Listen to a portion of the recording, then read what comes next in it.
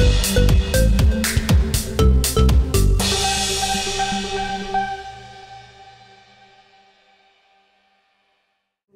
banyak yang mendoakan buat segera kembali Amin. gimana nih kak Bakti katanya kak Bakti yang bucin banget Iya benar.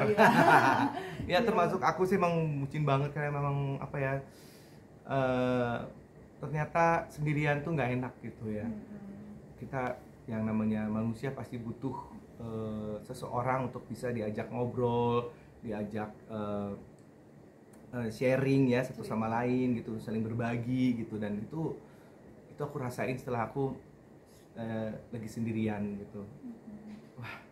ya bisa nih kalau kayak gini nih aku coba mau balik lagi deh sama Dila gitu ya. Yang itu itu itu aku obrolin sama keluarga juga gitu. Dan ya banyak yang dukung sih gitu untuk bisa kembali lagi gitu. Mudah-mudahan sih ya Dila pun juga mau menerimanya. Hmm, keluarga Dila juga gitu mau menerima dan memaafkan aku gitu. Ya itu semua lagi dalam proses. Dalam momen kapan sih akhirnya pengen minta kembali rujuk? Ya. Apa karena udah ngerasain sendiri berhari-hari berbulan-bulan? Ya itu dia maksudnya. kangen anak-anak Mm-mm. Jadi pada saat aku lagi sendirian, kangen sama anak-anak, terus kita kan eh, walaupun kita udah berpisah, tapi tetap kita demi anak-anak kita ketemuan tuh, kita eh, apa jalan bareng, kita ke mall kayak atau apa gitu ya. Terus udah gitu eh, kita sering video callan juga gitu, ya untuk untuk saling mengetahui kabarnya seperti apa gitu ya. Nah setelah cerai itu malah kita malah lebih dekat gitu dan timbullah itu ya rasa-rasa aduh kayaknya lebih enak kalau misalnya kita benar-benar bersama ya gitu. Kalau kita kembali lagi gimana gitu. Ya ini dalam masih masih dalam pembicaraan lah gitu. Tapi- mohon doanya aja. proses perceraian sendiri udah sampai tahap mana sih mas? Kalau proses perceraian mah udah Udah udah putusan udah putusan, putusan kan? Oh. udah putusan sudah. Walaupun saat itu ya eh, ini kan yang menggugat waktu itu dari pihak eh, Dila dan kita juga satu lawyer juga jadi sehingga memang prosesnya cepet ya.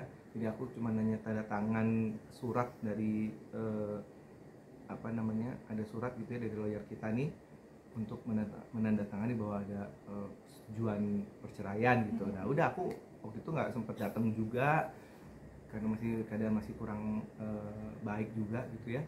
Akhirnya udah putusan gitu. Hmm. dan ya eh, apa ya sedih lah ya gitu. Maksudnya aduh 12 kenapa tahun. mesti ya 12 tahun bersama gitu. Kenapa mesti sekarang seperti ini gitu. Kadang-kadang suka menyesali gitu ya. Ya alhamdulillah mudah-mudahan sih ini kita eh, Allah kasih jalan lagi Allah kasih buka lagi kesempatan lagi gitu. Dila juga mau buka hatinya lagi untuk aku kembali lagi gitu. Mas kemarin Dila sempat bilang kalau mau rujuk harus sama-sama berubah, introspeksi diri. Kamu sendiri gimana nih? Iya. Udah sama saling ngobrol berdua nggak sih iya soal ini? Permintaan ada syarat nggak sih dari Dila? untuk syarat sih nggak nggak muluk-muluk lah ya Mm-mm. nggak yang gimana-gimana banget gitu pokoknya intinya ya kita harus saling b- banyak berubah sih gitu dari sikap dari eh, apa eh, perilaku juga gitu ya Hmm, terus eh, perhatian kita satu sama lain. Em, ya mudah-mudahan ini bisa jadi sebuah pelajaran yang kemarin-kemarin ini bisa membuat kita jadi berubah gitu untuk bisa menjadi suami istri yang lebih baik lagi gitu dengan adanya kejadian ini gitu.